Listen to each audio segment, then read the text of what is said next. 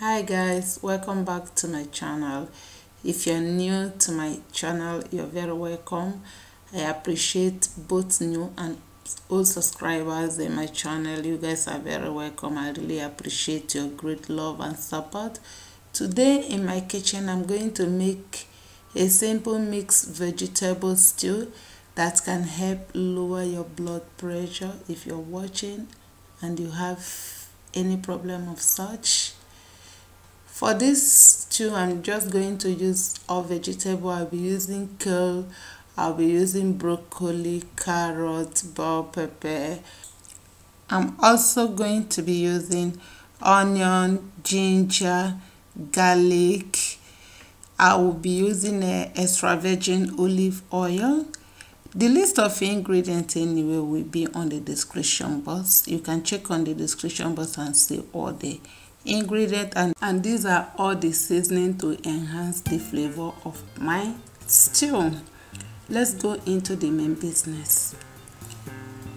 I have pan on the fire. What I added there was just a little of extra virgin olive oil. You allow it to hot a bit then you add your onions into it a kind of toasting or frying. Then this is the ginger garlic and onion. All I did was to blend it. I divided the onion into two cut a little part of it then blend the other part of it with ginger and garlic. Add it to the pot. Then the carrot you guys saw earlier. I have to cut it and also add to the stew you mix it allow it to just cook for a few seconds. You know this is vegetable. You don't need to overcook it. Then the next thing is to season it. I'm using herbs hot paprika black pepper seasoning cube. You can add a little of your own flavor too if you want then i added just a little water to it not too much water.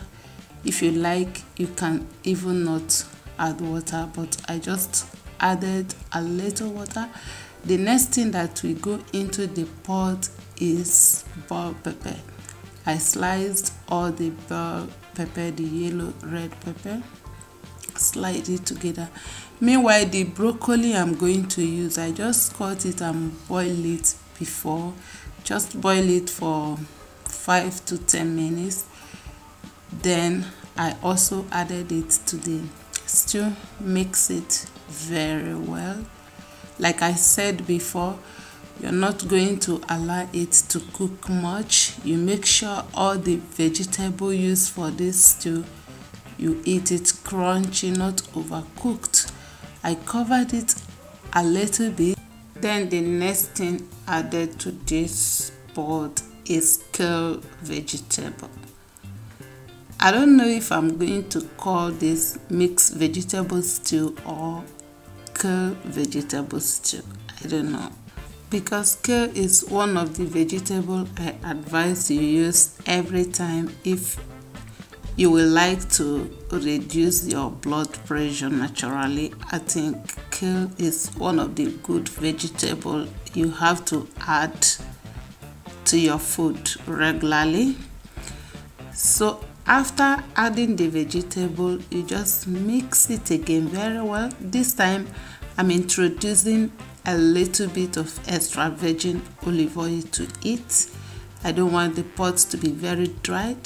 If you watch carefully throughout the cooking, you can see that I did not add any salt to the pot. You don't need salt. Remember, it is a stew that will help lower your blood pressure.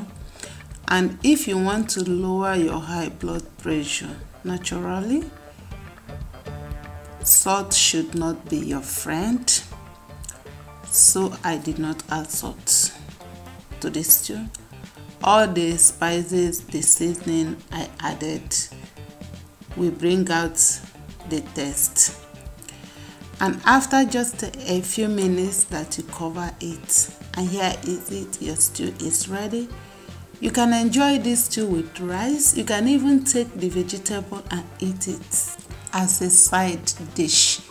Thanks a lot for watching. God bless you. Bye bye